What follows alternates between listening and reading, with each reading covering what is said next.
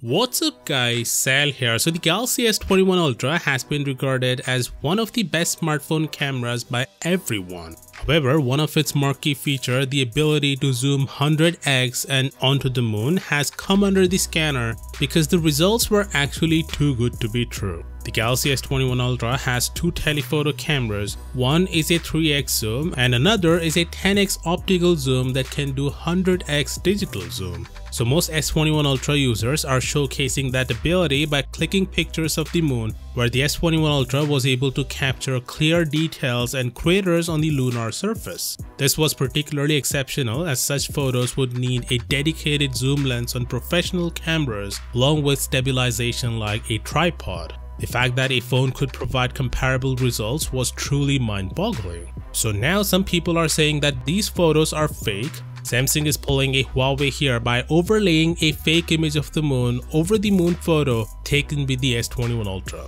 Turns out it's not the case. Samsung is not faking these incredible moon photos, they are actually real. Input Mag did a quite a lot of investigation where they asked a lot of tech reviewers about this, including Max Weinbach who said that he found absolutely no overlaid texture files of the moon present in the phone's camera APK. On top of that, Input Mag also did a test where they side by side took the image of the moon from S21 Ultra and from Sony a7R Mark III, a full frame mirrorless camera and 600mm zoom lens, a rig that cost more than 3 times the price of the Galaxy S21 Ultra. And as you can see, the patterns between the photos do line up pretty perfectly. In fact, they overlap both of these photos and the details and the craters on the lunar surface line up perfectly. So unlike Huawei, Samsung is not overlaying any textures or adding fake images on the moon.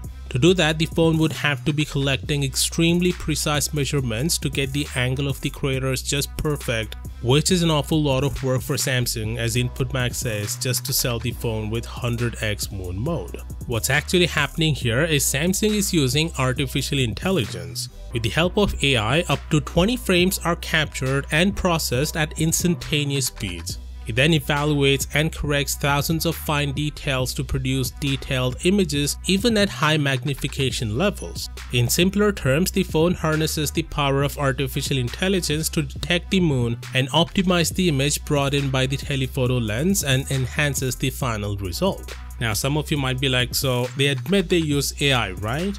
Well, all phone makers including Apple and Google use AI for their computational photography such as to sharpen the image, to improve the color or exposure and etc. All of these are done with the help of AI. So just like that, Samsung is also using AI to enhance the moon photos by adjusting the exposure, sharpening, etc. So the bottom line, unlike Huawei, there's no overlapping of a fake moon layer is happening on the Galaxy S21 Ultra. These moon photos are indeed real. Of course, with that being said, do let me know what do you think about this down in the comments. And as always, I'll see you tomorrow.